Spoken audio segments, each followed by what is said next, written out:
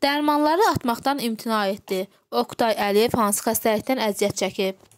Əməkdar mədəniyyət işçisi, tanınmış prodüser Oqtay Əliyevin avtomobil qəzasında dünyasının dəyişməsi onun personası ətrafında müzakirələrə rəvac verib. Dəhşətli qəzanın baş verdiyi gündən bəri mərhumun hansı xəstəlikdən əziyyət çəkməsi ilə bağlı müxtəlif mülahizələr səslənib. Gündəmə gələn ilk iddia Oqtay Əliyevin ürək tutmadan dünyasının dəyişməsidir. Hətta yaxınları mərhumun kəskin ürək ağrısına əziyyət çəkdiyini iddia ediblər. Sonradan isə bu iddialar təkzib edildi.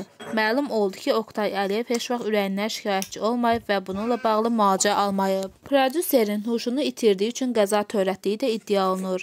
Mərhum Oqtay Əliyevin həyat yoldaşı əməkdar artist Dilarə Əliyevanın sənət dostlarından biri Yeni Sabah aza maraqlı məlumatlar verib.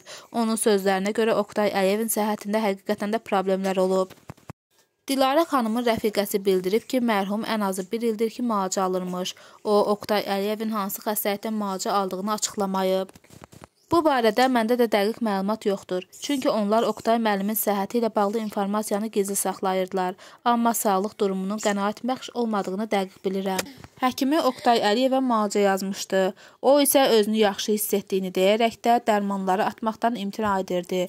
Dilarə xanım dəfələrlə mənim yanımda həkimə zəng edərək Oqtay Əliyevə təzyiq göstərməsini xahiş etmişdi. Hər dəfə onun zəngindən sonra həkimi Oqtay müəllimi arayıb dərmanları atmalı olduğunu xatırlatdı. Etik olmadığı üçün mən heç vaxt Oqtay müəllimin səhhəti barədə sual vermirdim, çünki onda hər hansı xəstəliyin əlaməti müşahidə edilmirdi. Şən və enerjili idi.